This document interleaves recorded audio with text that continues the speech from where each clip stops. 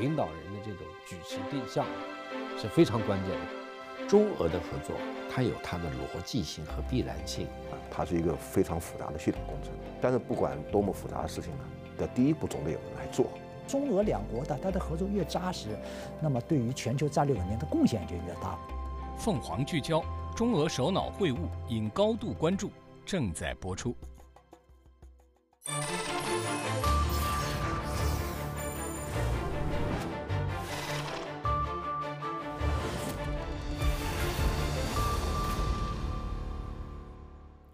是华润凤凰聚焦。中国国家主席习近平、俄罗斯总统普京这两位互称亲爱的朋友的元首，这次的会晤毫无疑问是全球最重大的焦点。当习近平主席的专机起飞前往莫斯科之时，一家面向普通公众查询航班讯息的网站在瞬间就涌入十万人，而两位元首发表的每一句话，甚至建筑媒体的每一个词，都更是被舆论掰开了揉碎了来分析。俄乌冲突之下，国际风云变幻之中，两位领导人向世界发出了怎样的信号？应俄罗斯联邦总统普京邀请，中国国家主席习近平于三月二十日至二十二日对俄罗斯进行国事访问。莫斯科时间三月二十日，习近平抵达俄罗斯之后，应约在克里姆林宫会见俄罗斯总统普京。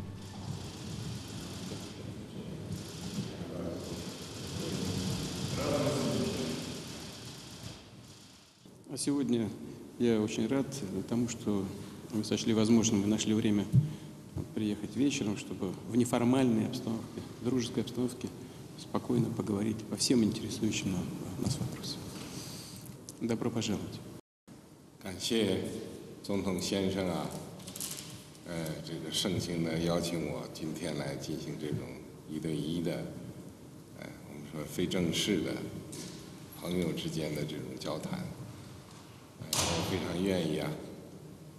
和你就两国关系和我们共同关心的各方面的问题，深入的交换意见。 三月二十一日上午，国家主席习近平在俄罗斯联邦政府大厦会见俄罗斯总理米舒斯京。米舒斯京表示，他率俄罗斯政府几乎所有重要内阁成员一起同习近平会见。对习近平主席对俄罗斯进行国事访问表示热烈欢迎。下午，习近平出席了俄罗斯总统普京在克里姆林宫二层乔治大厅举行的欢迎仪式，中俄元首正式会谈紧随其后，在克里姆林宫孔雀石大厅拉开帷幕。习近平与普京小范围会谈之后，双方代表再举行大范围会谈。中俄之间确实有大量的问题要谈，不管是经贸关系、政治关系、睦邻友好关系，方方面面都必须由两国元首来设定呃基调，然后呢，两国政府啊方方面面才能够予以落实。从打这个中俄战略协作伙伴关系建立以来，中俄每次元首的会晤，你看他这么回顾下来的话，每次都是两个人聚焦在如何扩大双边合作，这个让两国，就是咱们讲叫获得更多，或者让人民受益，让国家利益受益。这次呢？访问呢也不例外，就是说，中俄两国元首聚焦中俄双边合作广泛领域的政治安全领域、经贸科技领域，包括人文交流等等方方面面的领域呢，都是聚焦在双边的这个方面，这是基础。出访当天，习近平在俄罗斯媒体发表的署名文章中写道：“中俄两国互为最大邻国和全面战略协作伙伴。”同为世界主要大国和联合国安理会常任理事国，两国都奉行独立自主的外交政策，都将中俄关系置于本国外交优先方向。中俄是这个互为最大的邻国，我们有着这个四千三百多公里的边界，而且俄罗斯是全球面积最大的国家，中国是人口至少现在还是人口最多的国家。尽管当前的这种国际局势这样的复杂多变。啊，但是中俄关系，就像王毅主任讲的，中俄关系啊稳如泰山，而且随着这次高访，中俄关系会更加的紧密。中国作为一个大国，俄罗斯作为一个大国，在全球战略稳定性上都具有重要的变量。那么，加强中俄战略协作，中俄关系好，那是个正数；中俄关系不好，它是个负数。所以，我想呢，就是这样两个大国的关系呢，呃，对于全球战略稳定，那也是形成了一个非常重要的正能量的关键变量。十年来，经历国际风云变幻，中俄传统友谊历久弥坚。此次习近平与普京会见第一天。双方都提到了两人十年前的那一次会面。Символично, что ровно 10 лет назад мы с вами здесь встречались, вы совершили свой первый визит в качестве председателя Китайской Народной Республики в России. 你提到了十年之前，啊，就是我这个首任国家主席之后啊，选择的首选国，呃，就是俄罗斯。呃，刚才你提及呢，我也是。记忆犹新，历历在目。十年前，二零一三年三月二十二日，在克里姆林宫前，俄罗斯总统普京与三十多名政府高官组成超豪华阵容，迎接中国国家主席习近平。二零一九年六月五日，中俄两国元首决定将两国关系提升为新时代中俄全面战略协作伙伴关系，中俄关系不断提升。过去十年以来，在习近平总书记为领导的这个党政军，我们这一边啊都非常重视跟俄罗斯发展友好关系，而且呢，习近平总书记呃亲自呃做了大量的工作，而且呢，中俄之间的元首外交至关重要，因为两国元首都给两国关系设定了一个基调，那。方方面面，我们都是要忠实的执行。二零二一年六月二十八日，习近平同普京举行视频会晤，发表中俄睦邻友好合作条约签署二十周年的联合声明，正式宣布条约延期，并赋予其新的时代内涵，成为二十一世纪中俄全面战略协作伙伴关系长期稳定发展的纲领性和基础性文件，中俄关系再上新台阶。领导人的这种举旗定向，是非常关键的，就是领导人的战略引领。就是普京的啊对华也是比较友好的，那么习主席呢也是一直持这个对中俄关系呢非常重视，所以在啊习主席和普京总统的这个战略引领下，中俄关系应该讲这十年获得了一个巨大的发展。十年来，中俄元首之间保持着密切的交往，会面四十次。经历国际风云变幻的考验，两国始终保持健康稳定、高水平发展，成功实践了大国战略互信、邻里友好合作的相处之道。两国元首的交往也被认为是两国关系的指南针和定盘星。过去十年里边，中俄元首见面非常频繁，这对于中国、对于俄罗斯都至关重要，因为毕竟这两个国家如此大的块头，如此。重要的国际地位，而且各自肩膀上都有很多的国际责任，所以呢，中俄首脑峰会定期见面至关重要。中俄两国的关系走向了从来没有像现在这么成熟，而在这个过程当中，应该说呢，两国元首的这个交往，实际上起到了一个引领作用，就是关键在于怎么指导这个具有充分自豪感。和骄傲感的俄罗斯，和具有充分的自信、自豪、骄傲感的中国，这两个大国怎么在一起和平相处，而且还能够合作共赢？这个呢，实际上是技术含量挺高的。因此，我们说，呃，两国元首在这个中俄战略协作伙伴关系当中起到了这个引领作用，起到了指南针的作用、定盘星的作用。这个呢，确实是一个比较形象的比喻。三月二十一日下午，习近平同普京共同签署并发表《中华人民共和国和俄罗斯联邦关于深化新时代全面战略协作伙伴关系的联合声明》。俄方积极评价中方在乌克兰问题上的客观公正立场，双方反对任何国家或国家集团为谋求军事、政治和其他优势而损害别国的合理安全利益。俄方重申致力于尽快重启和谈。中方对此表示赞赏。俄方欢迎中方愿为通过政治外交途径解决乌克兰危机发挥积极作用，欢迎关于政治解决乌克兰危机的中国立场文件中阐述的建设性主张。乌克兰特别军事行动已经打了一年多了，到现在还没有一个解决方案，而中国率先提出了十二条的乌克兰战争或者危机的解决方案，这在今天是世界上唯一的一个真正的来推动乌克兰危机和平解决的方案，所以非常的难得，也非常的可贵。在这场俄乌冲突当中。呃，那么中国采取了一个不仅仅是中立的立场，而且是一个积极中立的立场。那么中国的积极中立立场是什么呢？它始终在呼吁，始终在努力，我们叫做劝和促谈，这就叫积极。当然，还有一种中立是什么呢？就是表面我什么都不做，但实际上呢，就是说我给你浇油，我给你穿火，我给你拱火。呃，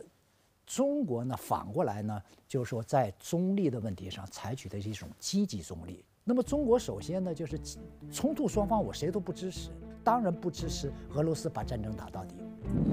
在联合声明中，中俄双方指出，解决乌克兰危机必须尊重各国合理安全关切，并防止形成阵营对抗、拱火浇油。双方强调，负责任的对话是稳步解决问题的最佳途径。为此，国际社会应支持相关建设性努力。双方呼吁停止一切促使局势紧张、战事延宕的举动，避免危机进一步恶化甚至失控。双方反对任何未经联合国安理会授权的单边制裁。习近平访俄，成为一次真正的和平之旅。乌克兰危机爆发到现在，其实各方的利益的牵扯，或者说这个关联度啊，越来越复杂，越来越密切。在这个时候啊。要解开这个结啊，它是一个非常复杂的系统工程。但是不管多么复杂的事情呢，的第一步总得有人来做。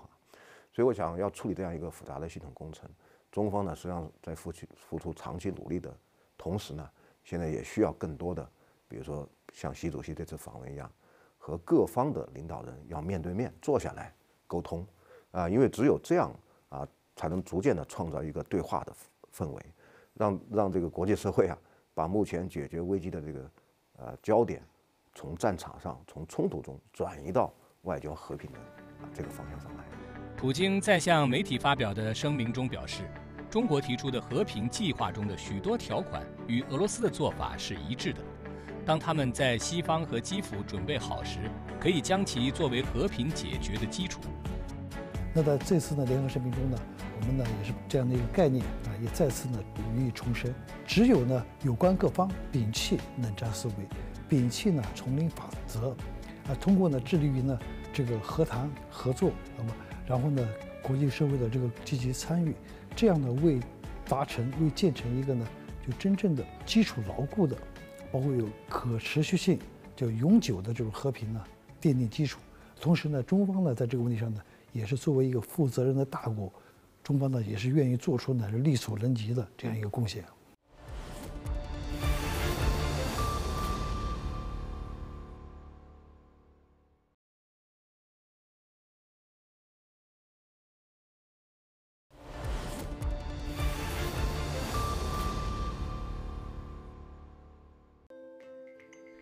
十年来，中俄在各领域的合作得到长足发展。两位元首一见面就聊起了双方的经贸往来和合作目标。Мы сделали сделали существенные шаги в развитии наших отношений. Более чем в два раза увеличился наш наш торговый оборот. 我们都为了我们各自国家的发展繁荣，这个在做出努力。 中国呢，呃，我们提出了啊，下一步要建设。中国式现代化，贵国也有一些非常宏伟的啊发展目标。在这方面呢，我们可以啊通过合作、共同努力，来促进我们的这种目标的实现。第二天的元首会谈，双方讨论了如何在经济、军事技术等领域。为两国的务实合作再添新动力，共同擘画未来一个时期中俄全面战略协作伙伴关系的新蓝图。经贸合作是俄中关系的优先事项。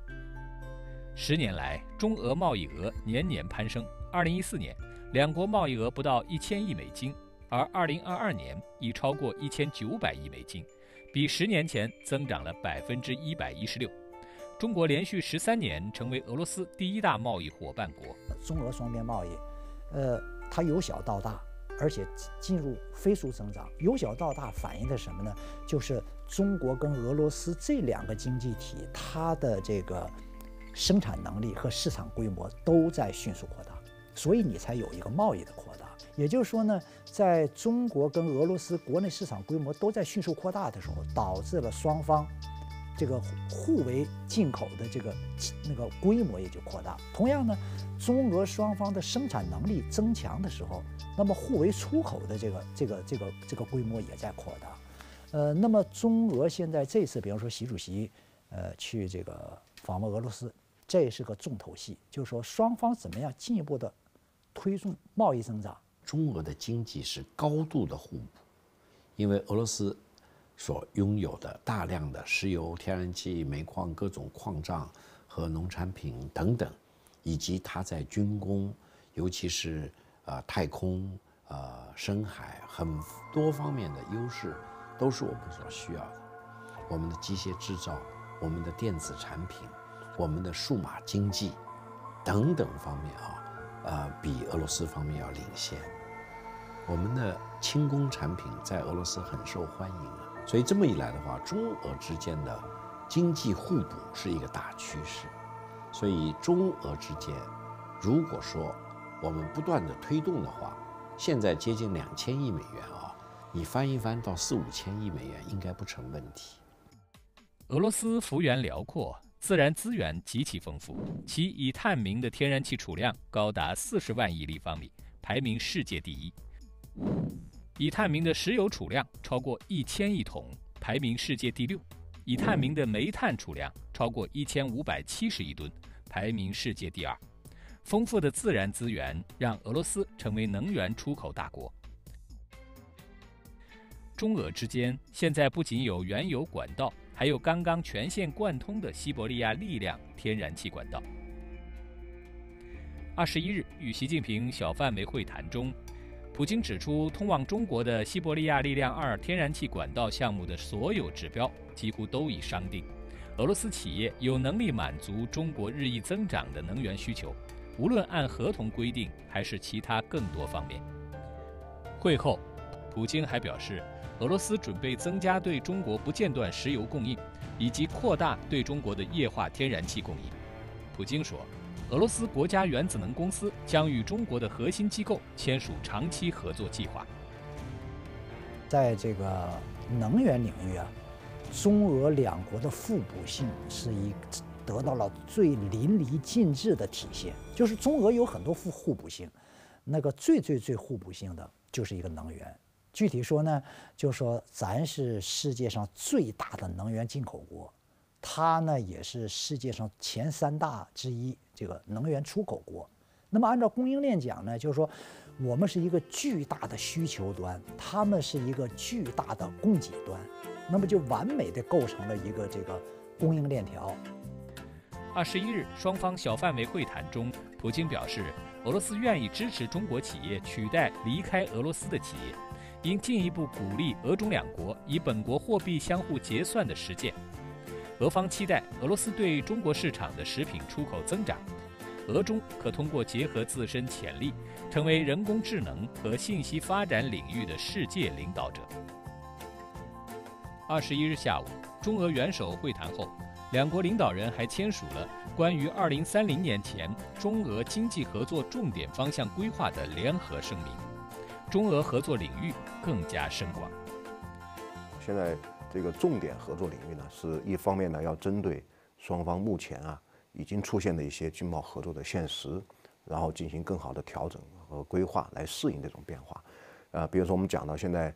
呃，短期内啊，中国对俄罗斯的投资啊，逐渐扩大到比如说汽车啊、制造业啊，啊，包括一些这个。呃呃，食品加工啊等等，这样一种变化呢，它需要更好的反映在我们未来的规划中啊，比如说我们对俄罗斯的投资要更有规划性。那反过来呢，俄方对我们的一些需求啊，它也在出现一些呃变化。呃，同时呢，我觉得还有一个呃非常重要的一个呃目的呢，就是呃要把原有的合作的领域和新增的一些合作领域啊，给它进更好的进行匹配。除了双边合作，二十一日上午，习近平在俄罗斯联邦政府大厦会见俄罗斯总理米舒斯金时也指出。中方高度重视共建“一带一路”同欧亚经济联盟对接合作，愿同俄方以及联盟各国一道，全面落实好中国与欧亚经济联盟经贸合作协定，开展更高水平、更深层次的区域合作。二零一九年十月，中国与欧亚经济联盟经贸合作协定生效。二零二三年，中国还和欧亚经济联盟签署了。旨在加强经贸合作的路线图。欧亚经济联盟由俄罗斯主导，2015年启动，由俄罗斯、哈萨克斯坦、白俄罗斯、吉尔吉斯斯坦和亚美尼亚五个成员国。这五国都是一带一路建设的重要合作伙伴。呃，这里面的合作内容实际上是很丰富的，除了中俄双边的合作，它还体现在一带一路合作和欧亚经济联盟之间的对接。呃，“一带一路”啊合作倡议提出十周年，而长期以来呢，其实俄罗斯啊和俄罗斯主导的欧亚经济联盟是一带一路合作的重要的这个对象，所以我想今年啊，在做好重点合作规划的同时，双方要进一步加强啊“一带一路”合作和欧亚经济联盟的对接，我觉得这个呢也是双方啊未来啊加强规划、加强合作的一个主要的方向。中俄两国世代友好，双方密切的往来也带来了丰富的人文交流。过去五年来，双方先后举办了以地方合作、科技创新、体育交流为主题的三个国家年。二零二二年十二月，中俄共同签署《二零二二到二零二三年中俄体育交流年行动计划议定书》，双方将在体育交流年框架下开展共计六百余项交流活动。在此次会谈中，普京表示，在西方国家利用体育作为施压工具时，俄罗斯和中国的体育关系在现实变得尤其重要。那么，中俄两国合作，我想更扎实、更务实，而且呢更有实效。所谓更扎实是什么呢？就是说，呃，双方在呃政治、经济、文化、科技各个领域啊，它会有更多的合作项目。这些合作项目都是一些实际的项目，就是更扎实。那么更务实呢？就是说，中俄两国广泛的合作，这种全面的战略协作呢，它会更加的针对当今的国际现实。能合作的就合作，不能合作的要为未来的合作创造条件，这就是更务实。那么就更有实效呢？就是说，中俄两国的它的合作越扎实，那么对于全球战略稳定的贡献就越大。而且呢，它合作的越扎实、越丰富呢，实际上也就对这个一个如何建立这个大国与大国的这种合作共赢关系啊，它这种范式、这种模式呢，就会越成熟。这个成熟呢，为未来的国际关系其实是个引领。习近平与普京在举行大范围会谈后，共同会见了记者。习近平表示，十年来，他与普京建立了密切关系，保持战略沟通，推动两国战略合作取得丰硕成果。刚才，我同普京总统举行了坦诚、友好、富有成果的会谈，就双边关系。以及共同关心的重大国际和地区问题，深入交换意见，达成许多新的重要共识。我期待继续通过各种方式同普京总统保持密切沟通，共同引领中俄关系。行稳致远，谢谢大家。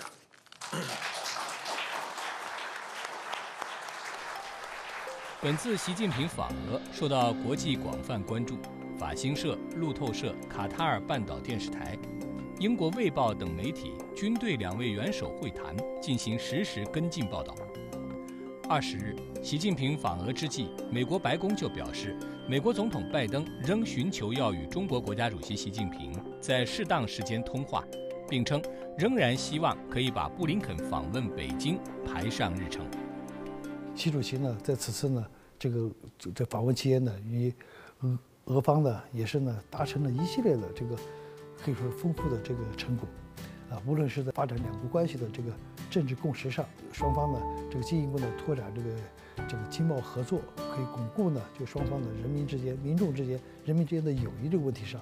啊，这都是呢可以说是取得了非常大的这个成果，这个呢也是引发了世界的这个广泛关注。这这次呢这个习主席呢对俄罗斯的这个访问呢，可以说真是一次呢友谊之旅。合作之旅和和平之旅，友谊、合作、和平，这不只是对习近平主席这次访俄之旅的核心概括。如果各方能够诚实的面对世界现在的动荡、未来的隐患，就能够体会到，这也是对全球安全与和平的倡议和承诺。